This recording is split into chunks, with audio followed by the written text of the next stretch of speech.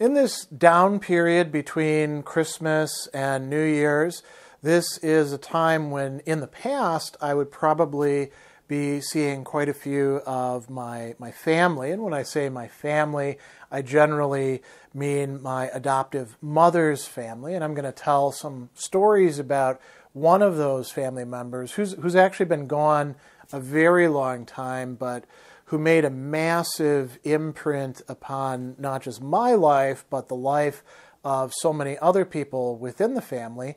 And that is my uncle, actually great uncle, Hubert. Everybody called him, you know, Mononc or Mononcubai, uh, because, you know, we're, my, my mother's family is French Canadian. And so Hubert Lemrise, he was born in the early uh, teens of the last century, and he, he died, if I remember right, in 1990 or 1991 of, of cancer and complications from that. And he, he lived a pretty long and a really good life in, in many respects. He saw quite a few hard times. He actually, um, at one time, had a grocery store which uh, went under during the Depression um, and uh, wound up having to work a good part of his life as a welder, although that wasn't his preferred job. He was he was extremely good at it. And so, you know, let, let me start sort of at the start, not necessarily of his life because I don't actually know that much about it. And almost everybody who could tell us anything about that is long since passed on. But I'll, I'll tell you about what it was like knowing him so he was always there, you know, as far back as I can remember. And I should probably give a little bit of background. So my my mother's side of the family, um, she grew up in Chicago on a block that was pretty much all either French Canadians or Menominee Indians. Just about everybody spoke French and um, she was a fourth generation immigrant, you could say, because our great great grandfather came over to fight in the Civil War, ended up settling in in uh, uh, New England, and eventually in the 19 um, I think late 20s, early 30s, the family settled in Chicago, and so my my great uncle Hubert would have been the grandson of, of that ancestor. And it was his dad and mom, who everyone called Mame and Pepe, you know, they, they were the grandparents to everybody. They settled in Chicago, brought all the kids with them, and there was a lot of adventures we could talk about. I mean, Pepe actually put together a band and, and got a jalopy together and had the kids like bunch of neighborhood kids, you know, driving uh, all the way to the Rockies, playing. There's all sorts of stories. And Uncle Hubert was, was part of those stories as a kid. Uh, he played the trombone, believe it or not. Our family is very musical. And so Uncle Hubert was one of the oldest of, of the, the kids. I think he may have been the second oldest. And Eileen would, would have been the oldest, and she married Raoul, uh, who was who was from Canada. And and this is what the family did. They would they would have um, spouses from Canada and bring them down to that part of Chicago where they lived and so, you know, my mom, her mom was from Quebec, as was her sister, who married my uncle Hubert. Two brothers married two sisters. And um, so, you know, you know, in a way, she was, my mom was a fourth generation immigrant. In a certain way, she was also, you know, like a second generation immigrant. And Uncle Hubert as one of the oldest boys in the family who wasn't going to be a priest, which which is what happened with two of the boys in the very big family, um, he you know went to grade school. I think he got through fourth grade at most, and then he had to drop out to start working uh, to support the family because everybody had to do something. The girls went you know all the way to high school. Um, the boys, most of them in that older generation, ended up dropping out. And so, you know, he started working, and eventually he, he actually had a grocery store that he unfortunately had to run into the ground um, you know, because of uh, people not being able to, to pay at, at different times. And Uncle Hubert, one of the most important things to know about him was although he had a very short education, he really valued literacy and really valued reading. And so he read his entire life. And he was probably one of the best read people that I've known. He's, he's a great example of the fact that you don't have to go to school necessarily to, to be intelligent and literate and to, to you know, learn what, what, what's available to learn. You can, in fact, do it on your own and and he did. And he was always curious about things. So it wasn't just reading say novels or stuff like that. He read the popular science stuff of his time. He was interested in astronomy. He was interested in, in history. He started buying national geographics when he was quite young and collected them all the way up until his death. And, and when he died they were there in his library going all the way up to you know 1991 i think. And because of his interest in reading and because he he valued it so much that when the rest of the family was say playing cards or doing stuff like that, he would go and retire to read. Um, he wound up being sort of like a leaven that you know fertilized so many other people's imaginations. And I'll, I'll give you some examples of how that took place. So as a kid, for myself, he would always get me books at Christmas. And I loved that because I, I started reading when I was about three and I enjoyed the sort of stuff that he'd get me. Like, you know, they had these Alfred Hitchcock presents horror stories. He would also, for my birthday, get me magazine subscriptions. And they weren't like BS magazines, you know, uh, they weren't the sort of things that would, would just appeal to uh, easy reading. He was like, "You're getting you're getting Science magazine for for for your birthday, you know. Enjoy it." And and I would read this stuff, and I'd be like, oh, "This is amazing." That's like where I learned about games theory from, for example. And the the the thing that was really cool about Uncle Hubert is he wouldn't just let you drop, borrow books. He had a great library, and he would let me borrow books, and, and, and he'd never ask for them back. I took so many books out of his library. Um, and he'd give you books.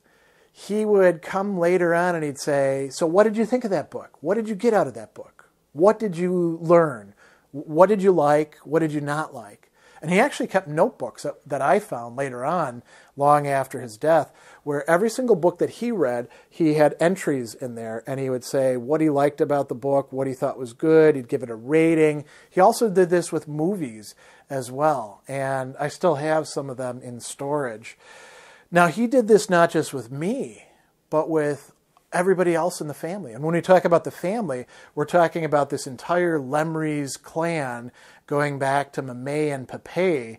So there were 13 brothers and sisters who survived. One of them died in the, the Spanish influenza. A couple of them didn't have kids. Two of them became priests. So that left about maybe seven branches, each of whom had anywhere from three to eight kids. And all of those cousins, that's my mom's generation, they lived on the same block. In the summer, they went out to a farm in Indiana that all these brothers bought, where eventually they, they would retire.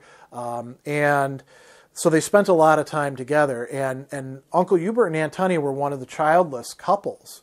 So they were sort of like everybody's extra parents. And, and Uncle Hubert was the literacy guy. He was the one who took my mom to not just to the library all the time, um, which he did with all the other kids, but he took her to DePaul to sign up for classes, to register, to go to to go to college. You know, and my mom, uh, she kind of took the easy way. She decided she was going to be a French teacher since you know she already spoke French as her first language, and um, so she, you know, she, she was going to blaze through her classes. But if it hadn't been for Uncle Hubert's influence, no, nobody else in the family was saying to their kids, "You should go to college." If it hadn't been for that, I certainly wouldn't have been adopted into the family that I was because it was in college, going to, to a party actually, uh, that my mom met my dad, who was up at the U- University of Wisconsin Madison at the time. Uh, she met him through I think one of his friends knew one of her friends or something like that. And um, so Uncle Hubert was he was somebody who really exemplified. He didn't just push, but he exemplified what it was to be a curious, intellectually active, literate person who didn't have pretensions, who realized that reading was something you got to do not as a profession, but in your spare time. You had to make time for it. And that it was valuable, even if nobody else was going to value it. It was, it was worth doing, and it was worth doing well. And so, you know, he was an incredible influence in that way. But there were other aspects of, of Hubert as well that I thought were really great too. Um, another thing that, that he and I share in common is a love of uh, nature and horticulture and, and gardening and uh, particularly of, of flowers. And he was, he was a pretty amazing gardener. I remember, so I, I should tell you a few other things. Um, when he retired, and he retired from being a welder, and apparently he was an amazing welder. He didn't really like the job, but he had to do it to make money after his, his store failed. Um, but he could do things, and, and my family is a family of craftspeople. So when they say that he was doing things that were beyond them, they mean it. It's not just you know uh, hipsters playing around with, with torches or something. These were people who really knew their stuff.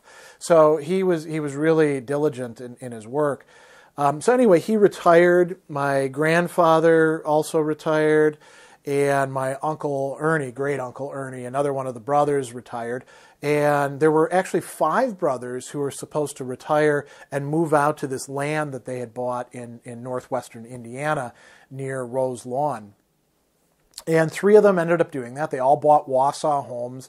They actually all bought the exact same model of home, just with slightly different wallpaper, and you know, like the the appliances were different colors. That's that's the the amount that they they uh, personalize the houses. And uh, Grandpa and Uncle Hubert's house were built basically side by side with a four car garage in between them, and then a deck on top of that garage.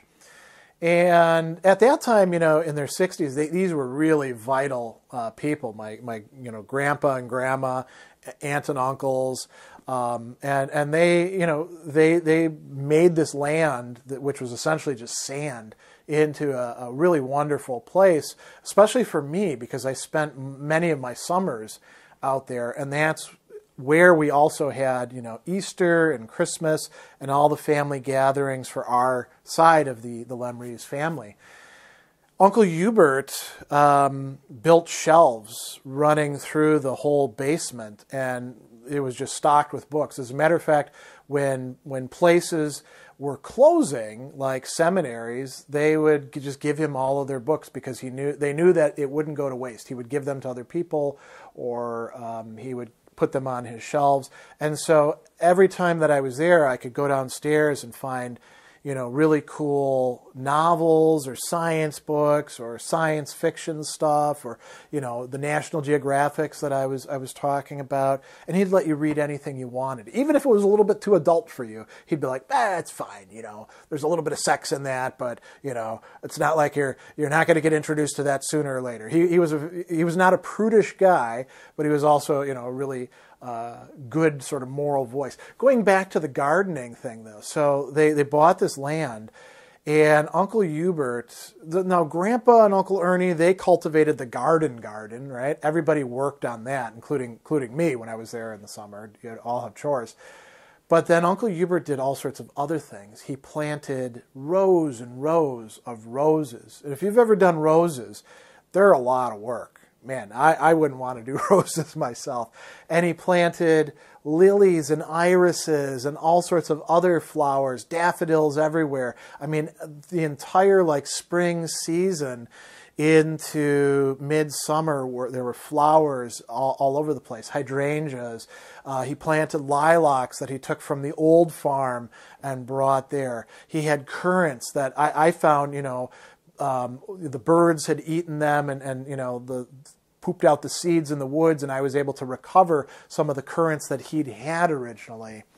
And unfortunately, when Uncle Hubert died in um, the early 90s, my grandfather was so overcome with grief that he actually plowed under all of those roses and, and currants and gooseberries and blackberries. Uncle Hubert had like he had raspberries. They were red and black and golden. Again, I cultivated those, finding the golden ones out in, in the local woods.